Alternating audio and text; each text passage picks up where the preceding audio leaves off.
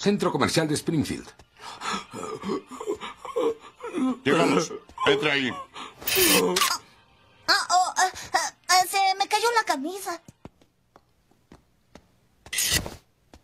Señor Simpson, por favor, tape sus oídos mientras llego la clave secreta. Sonría. Buenos días, agente Johnson. La película que va a ver es ultra secreta y contiene escenas para adultos.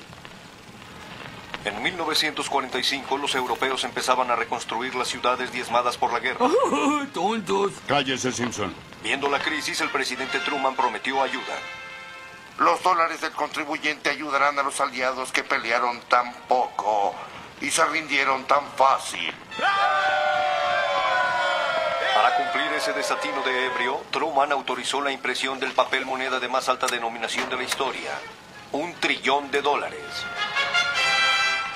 ¡Uy, un trillón de dólares! Eso sí es una albóndiga gorda.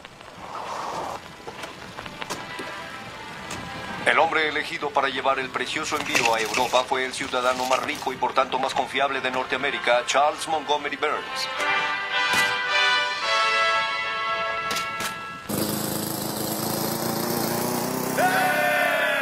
Desafortunadamente, el dinero nunca llegó. Esto patearme las espinillas. Quejémonos con alguien, perdieron. No. Mejor actuemos con desprecio hacia los americanos para siempre. Venga, macho. Oui. Esta cinta se autodestruirá si no se conserva adecuadamente. Creemos que Burns aún tiene el billete oculto en su casa. Pero lo único que el satélite ha descubierto es que no está en la azotea.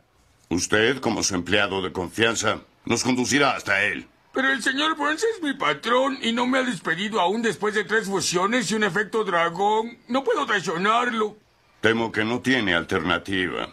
Y recuerde, esta información es ultra secreta. Fotos instantáneas. Sonría. Buenos días, agente Johnson. La película que va a ver es...